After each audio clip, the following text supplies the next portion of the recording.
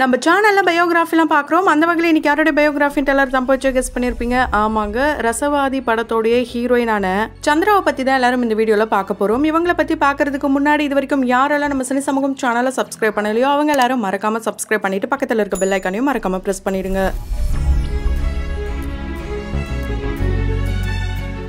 ரசவாதி படத்தை கண்டிப்பாக எல்லாருமே பார்த்துருப்பீங்க. இந்த படம் ரொம்பவே ஒரு ஸ்ட்ராங்கான எமோஷ்னலான ஒரு கண்டென்ட்டாக தான் இருக்கு. அந்த அளவுக்கு மிகப்பெரிய ஒரு தாக்கத்தை ஏற்படுத்தின படம் இப்போ சமீப காலமாக பேசும் பொருளாகவே மாறியிருக்குன்னே சொல்லலாம். இந்த படத்தில் சந்திரா அப்படின்ற ஒரு கேரக்டர் பண்ண ஹீரோயினுக்கு நல்ல வரவேற்பு கிடைச்சிருக்குன்னே சொல்லலாம். அவங்களோட எக்ஸ்பிரஷனாக இருக்கட்டும் அவங்களுடைய பரதநாட்டிய டான்ஸாக இருக்கட்டும் எல்லாமே அல்டிமேட்டாக இருக்குன்ட்டு அவங்களுக்காகவே இப்போ நிறைய பேர் படங்களை பார்த்துட்டு வராங்க.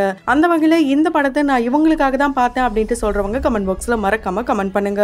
சந்திராவை நம்ம எல்லார் மனசுலயும் இடம் பிடிச்ச இவங்களுடைய ரியல் நேம் ரேஷ்மார் இவங்க பக்கா தமிழ் பொண்ணுங்க ஆனா மலையாள பெண். ஆமாங்க பிறந்தது தான் இவங்க கேரளாவாம். ஆனா வளர்ந்தது எல்லாமே ஊட்டி பழனி அதுக்கப்புறம் சென்னை. இவங்க அப்பா இவங்க தேர்ட் ஸ்டாண்டர்ட் படிக்கும் போது எதிர்பாராத விதமா காலமாயிட்டாரு. இவங்களுடைய அப்பாவுடைய இறப்புல இருந்து இப்போ வரைக்கும் இவங்க மீள முடியாத ஒரு துயரத்துல தான் இருக்காங்களாம். இவங்களுடைய வாழ்க்கையில ஒரு விஷயத்த மாத்தணும் அப்படின்னா அது இவங்களுடைய அப்பாவுடைய இறப்பு நடக்காம இருந்திருந்தா நல்லா இருந்திருக்கும் அப்படின்ட்டு ஒரு இன்டர்வியூல அவங்க ரொம்பவே எமோஷனலா சொல்லியிருப்பாங்க. எல்லா பெண்களுக்குமே அப்பதான் ஹீரோ அதே மாதிரி தான் இவங்களுக்கும். இவங்களுக்கு ஒரு தங்கச்சியும் இருக்காங்க. இவங்க தங்கச்சி சொன்ன ஒரே காரணத்தினால தான் இவங்க சினிமாக்கு வந்தாங்கன்னே சொல்லலாம். ஏன்னா இவங்களுடைய செக்டார் பாத்தீங்கன்னா பேங்கிங் செக்டாராங்க டைரக்டர் லோகேஷ் கனகராஜ் அவர்கள் எப்படி இப்போ ஒரு டைரக்டரா இருக்காரோ அதுக்கு முன்னாடி அவர் பேங்கிங் செக்டார்ல தான் வேலை பார்த்தாரு. அதே மாதிரி தான் இவங்க பேங்கிங் கோர்ஸ்லாம் போனாங்களாம். ஆனா அங்க ஃபெயில் ஆயிட்டாங்களாங்க. இவங்க பிகாம் கம்ப்யூட்டர் அப்ளிகேஷன் தான் படிச்சிருக்காங்க. நிறைய பேர் சிஎன் சொன்னதுமே என்னது சார்ட் அண்ட் அக்கௌண்டா அப்படின்ட்டு நிறைய பேர் நினைச்சிருப்பாங்க. ஆனா அதெல்லாம் இவங்களுக்கு வரவே இல்லையாங்க. அதனால தான் கம்ப்யூட்டர் அப்ளிகேஷன் படிச்சாங்களாம். அதுக்கப்புறம் அவங்களுடைய வீட்டில் ரொம்பவே ஃபோர்ஸ் பண்ணாங்களாம். நல்ல ஜாபுக்கு போகணும் அப்படின்னு தான் இவங்க அந்த கோர்ஸ்லயும் சேர்ந்திருக்காங்க. ஆனா இவங்களால படிக்க முடியாம ஃபெயிலும் ஆயிருக்காங்க. காலேஜ்ல பாத்தீங்கன்னா ஒரு நாட்டி கேர்ளா இருந்திருக்காங்க. அதாவது இந்த படத்துல சந்திராவா எப்படி இருந்தாங்களோ பிஃபோர் மேரேஜ் அதே மாதிரி தாங்க இவங்க ரியல் லைஃப்லயும் ஒரு குட்டி சந்திரா தானாம். காலேஜ்ல இவங்களை தெரியாதவங்க யாருமே இருக்க முடியாதாம். அந்த அளவுக்கு ரவுடிசம் பண்ணுவாங்களாம். இவங்களுக்கு கேங்லாம் இருக்காம். ஊட்டி மலையில நல்லா குரங்குட்டிங் மாதிரி தாவனதாகலாம் இவங்களே ஒரு இன்டர்வியூல சொல்லியிருக்காங்க. நிறைய டீச்சர்ஸ்க்கு இவங்களை ரொம்ப பிடிக்குமாம் ஸ்கூல் காலேஜஸ்ல டான்ஸ்லாம் ப்ராக்டிஸ்லாம் பண்ணியிருக்காங்களாம். நிறைய ப்ரைஸ்லாம் வின் பண்ணியிருக்காங்களாம். நிறைய கல்ச்சுரல்ஸ்க்குலாம் போயிருக்காங்களாம். ஆனால் ரியல் லைஃப்ல பார்த்தீங்கன்னா இவங்க பரதநாட்டிய டான்ஸர் கிடையவே கிடையாதாம். இந்த படத்துல செம்மையா டான்ஸ் ஆடிருப்பாங்க குறிப்பா தை தை அப்படின்ட்டு ஒரே ஒரு மியூசிக் ஃபியூஷனை மட்டுமே வச்சு சூப்பரான ஒரு பெர்ஃபார்மன்ஸை கொடுத்துருப்பாங்க. அதை பார்த்துட்டு நிறைய பேர் இவங்க ஒரு பரதநாட்டிய டான்ஸராக தான் இருப்பாங்கன்னு நினச்சாங்க. ஆனால் ஆனா சதீஷ் மாஸ்டர் அண்ட் டீம் தான் இவங்களுக்கு சொல்லி கொடுத்தாங்களாம். ரெண்டு நாள் ப்ராக்டிஸ் போச்சாம். அதுக்கப்புறம் தான் இவங்க வந்து ஓகே என்னால் பண்ண முடியும்னு சொல்லி கான்ஃபிடென்ட்டோட பண்ணாங்களாம். ரொம்ப நல்லாவே அவுட்புட் வந்திருக்குன்னு தான் சொல்ல முடியும். இவங்க டிசம்பர் ஒன்று ஆயிரத்தி தொள்ளாயிரத்தி தொண்ணூற்றி ஒன்பதில் பிறந்திருக்காங்க. இப்போ இவங்களுக்கு இருபத்தஞ்சு வயசு ஆகுது இவங்களை ஆல்ரெடி நம்ம யூடியூப்ல பார்த்துருக்கலாம். கண்டிப்பாக யூடியூப் ஃபாலோவர்ஸ் இவங்களை ரொம்ப பிடிக்கும். மதுரை பையன் வித் சென்னை பொண்ணு அப்படின்ற கான்செப்டோட இவங்க வெப் சீரிஸ் ஒன்று பண்ணியிருப்பாங்க. அதில் ரொம்ப அழகாகவே நடிச்சிருப்பாங்க. ஆரம்பத்தில் இவங்க படித்து வேலைக்கு போகலான்ற காரணத்தினால இருந்ததுனால இந்த கெரியர்லாம் வேணாம் அப்படின்னு தான் இருந்திருக்காங்க. அதுக்கப்புறம் தான் ஒரு சிக்ஸ் மந்த் ஆதித்யா டிவியில் இவங்க விஜேவா போகலாம் அப்படின்னு நினச்சிருக்காங்க. நியூஸ் ரீடராக தான் ஆரம்பத்தில் போகலான்னு நினச்சாங்களாம். ஐயோ அதெல்லாம் படிக்கணும் ரொம்ப தூய தமிழ்லலாம் பேசணும் அப்படின்னு நினச்சி தான் இவங்க நோ சொல்லிட்டாங்களாம். அதே மாதிரி இவங்களுக்கு உடனே எல்லாம் விஜய் வாய்ப்பு கிடைக்கவே இல்லையாங்க. நிறைய ரிஜெக்ஷனா நிறைய இடங்களுக்கு ஏறி இறங்கி இருக்காங்களாம் அதெல்லாம் கடந்து தான் விஜய்வை வேலை பார்த்துருக்காங்க. அதுக்கப்புறம் ரியல் டைமில் வந்து பார்த்தீங்கன்னா ஒரு சிக்ஸ் ஓ கிளாக் லைவ்லலாம் வந்தாங்களாம். அதுக்கப்புறம் இவங்களுக்கு நிறைய ஃபேன் ஃபாலோவர்ஸ் வந்திருக்காங்க. குறிப்பாக இந்த வெப் சீரிஸ் பண்ணும்போது ரொம்ப நிறைய ஃபேன் ஃபாலோவர்ஸ் வந்துட்டாங்கன்னே சொல்லலாம். கண்களே அப்படின்ற ஒரு மியூசிக்கல் வீடியோ பண்ணியிருக்காங்க. அது மட்டும் இல்லாமல் பிரபலமான ஒரு சேனல் அதாவது விஜய் டிவி இந்த சேனலில் பார்த்தீங்கன்னா இவங்க அன்புடன் குஷி அப்படின்ற சீரியலை பிரஜன் கூட சேர்ந்து ஒர்க் பண்ணியிருப்பாங்க.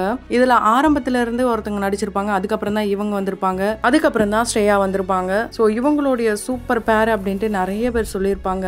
இவங்களை பார்க்கறதுக்கு ஒரு பக்கம் அதித்தி சங்கர் மாதிரியும் இருக்காங்க. இன்னொரு பக்கம் ஸ்னேகர் அவர்களுடைய ஒய்ஃபான கனிகா மாதிரியும் இருக்காங்கன்னு கமெண்ட் பண்றாங்க. இவங்களை பார்க்கும்போது உங்களுக்கு யார் மாதிரி இருக்காங்கன்றத கமெண்ட் பாக்ஸ்ல கமெண்ட் பண்ணுங்க.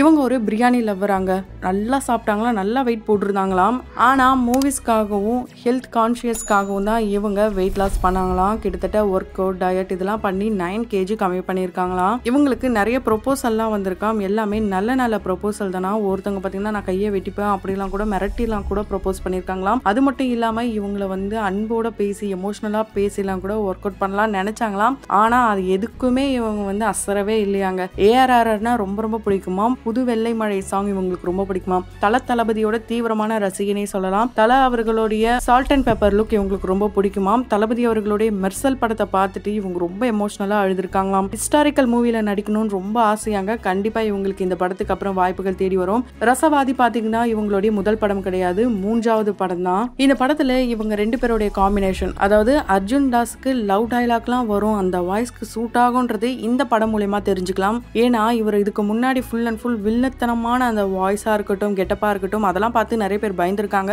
இருந்தாலும் நிறைய ஃபேன் ஃபாலோவர்ஸ் இவருக்கு வந்திருக்கு. இப்போ வரைக்கும் இவர் சிங்கிளாக தான் இருக்காராம். நோ மேரேஜ் அப்படின்ற ஒரு கோட்ஸோட தான் இவர் வாழ்ந்துட்டு இருக்காராம் ஆனால் இந்த படம் பார்க்கும்போது இவங்க ரெண்டு பேரும் ரியல் பேராக இருந்தால் நல்லா இருக்குமே அப்படின்ட்டு சொல்லிட்டு வராங்க. அது மட்டும் இல்லாமல் இவங்க ரெண்டு பேரும் சேர்ந்தா ரொம்ப நல்லா இருக்கும் அப்படின்னு தான் சொல்லிட்டு வராங்க. அந்த அளவுக்கு தான் இவங்க லவ்வை பிழிஞ்சு தள்ளியிருப்பாங்க. இந்த படத்துல ஒரு யதார்த்தமான நடிப்பை வெளிப்படுத்தியிருப்பாங்க. அதுலயும் குறிப்பா இந்த படத்துடைய வில்லனுடைய மனைவியா கடைசியா வர்றது தான் அல்டிமேட் அதுல ஃபைனலா இவங்க டயலாக் சொல்லி அந்த இறக்குற சீனா இருக்கட்டும் இப்பயும் ஒரு சில பெண்கள் இந்த மாதிரி கொடுமைகளை அனுபவிக்கிறாங்கன்றத உணர்த்துற வகையில தான் இந்த கான்செப்டை இவங்க ஓகே பண்ணாங்களாம். இது போல ரொம்ப சூப்பரா வரும் இவங்க எதிர்பார்க்கவே இல்லையாம். அதே மாதிரி அர்ஜுன் தாஸை வாய்ஸ் எல்லாம் கேட்டு இவங்களுக்கு பயம்லாம் எதுவுமே வரலையா அவங்க. அவருடைய பெர்ஃபார்மன்ஸ்லாம் பார்த்து இப்பா செமையாக பெர்ஃபார்மன்ஸ் பண்ணுறாருன்ட்டு அவர்கிட்ட இருந்தும் நிறைய விஷயங்களை லேர்ன் பண்ணாங்களாம். ஸோ இவங்க ஆக்ட்ரஸ் ஆகிறதுக்கு முன்னாடி விஜேவாக இருந்தாங்கன்னு சொல்லியிருந்தோம். அதுக்கு முன்னாடி டிக்டாக் தான் யூஸ் பண்ணியிருக்காங்க. இவங்க ஒரு டிக்டாக்கராக இருந்திருக்காங்க. அது மூலயமா தான் இவங்களுக்கு வாய்ப்புகள் தேடி வந்திருக்கு. இது போல் சின்ன சின்னதாக நீ பண்ணாத அப்படின்னு சொல்லி வீட்டில் வந்து சொல்லியிருக்காங்க. அதுக்கப்புறம் அவங்களுடைய தங்கச்சி உங்களுக்கு ரொம்ப சப்போர்ட்டிவாக இருந்ததுனால தான் இவங்களுடைய அம்மாவும் ஓகே சொல்லி ஆரம்பத்தில் நிறைய பேர் வந்து இவங்க வந்து ரிஜெக்ட் பண்ணதாக சொல்லப்பட்டது. அது மட்டும் இல்லாமல் இவளாம் ஒரு மூஞ்சா இவளாம் நடிக்க வந்துட்டாளா இவளுக்கெல்லாம் இவ்வளோ பெரிய வாய்ப்பா? இது போலலாம் நிறைய பேர் வந்து நெகட்டிவாக கூட கமெண்ட் பண்ணாங்களாம். அது எதையுமே பொருட்படுத்தாமல் இவங்க அவங்களுடைய லைஃப்பில் ஒரு சக்ஸஸ்ஃபுல்லான பாத்தில் போகிறாங்கன்னு தான் சொல்ல முடியும். குறிப்பாக அர்ஜுன் தாஸ் அண்ட் ரேஷ்மா இவங்க ரெண்டு பேருடைய இந்த ரொமான்ஸ் லவ் இந்த சீக்வன்ஸ் பார்த்தீங்கன்னா நிறைய பேருக்கு ரொம்ப பிடிச்சிருக்கு. குறிப்பாக இவங்க வந்து அந்த கண் அசைக்கிற விதமாக இருக்கட்டும் பேசுகிற விதமாக இருக்கட்டும் இவங்களுடைய ஹேர் ஸ்டைலாக இருக்கட்டும் பிஃபோர் மேரேஜ் சீக்வன்ஸ் நிறைய பேரை கவர்ந்து இழுத்துருக்குன்னு தான் சொல்ல முடியும். ஆரம்ப காலகட்டத்தில் உமன்ஸ்க்கு வந்து அந்த அளவுக்கு வாய்ப்புகள் கிடைக்காது. ஆனால் இப்போ இருக்க காலகட்டத்தில் விமனாக இருக்கட்டும் மென்னாக இருக்கட்டும் ஈக்குவலாக ஆகிடுச்சு இண்டஸ்ட்ரியில் கண்டிப்பாக நிறைய வாய்ப்புகள் உமன் சென்ட்ரிக் மூவியாக தான் வருது. அந்த மாதிரி படங்களில் நான் கண்டிப்பாக நடிப்பேன். இந்த படம் எனக்கு ஒரு நல்ல எதிர்காலத்தை கொடுத்துருக்கு. கண்டிப்பாக அடுத்தடுத்த படங்கள் என்னை பார்க்கலாம் அப்படின்ட்டு அவங்களும் சொல்லியிருக்காங்க. நெக்ஸ்ட் பார்த்தீங்கன்னா மலையாள மூவியில் இவங்க நடிக்க போகிறாங்களாம் இவங்கள நம்ம மலையாளத்துலேயும் பார்க்கலாம். ஸோ நிறைய பேர் இந்த விஷயம் கேள்விப்பட்டு நீங்கள் தமிழ்லேயே நடிங்களேன் ஏன் மலையாளத்துக்கு போகிறீங்கன்னு ஒரு பக்கம் சொன்னாலும் இன்னொரு பக்கம் நீங்கள் எல்லா இண்டஸ்ட்ரியிலும் கலக்கிட்டு வரணும் அப்படின்னும் இவங்களுக்கு வாழ்த்துக்களை சொல்லிட்டு வராங்க. அந்த வகையில் நாமளும் நம்மளுடைய சினி சமூகத்தின் வாயிலாக இவங்களுக்கு வாழ்த்துக்களை தெரிவித்துக் கொள்ளலாம். ஸோ உங்களுக்கு அர்ஜுன் தாஸ் தன்யாவுடைய பேர் பிடிச்சதா? இல்லை அர்ஜுன் தாஸ் ரேஷ்மாவுடைய பேர் பிடிச்சதான்றத கமெண்ட் பாக்ஸில் மறக்காம கமெண்ட் பண்ணுங்க. அடுத்த ஒரு பயோகிராஃபியில் வந்து பார்க்குறேன் தொடர்ந்து பயோகிராஃபிலாம் பார்த்து என்ஜாய் பண்ணணும்னு நினச்சிங்கன்னா உடனே நம்ம சினி சமூகம் சேனலை சப்ஸ்கிரைப் பண்ணிட்டு பக்கத்தில் இருக்க பெல்லைக்கன்னு மறக்காம ப்ரெஸ் பண்ணிடுங்க.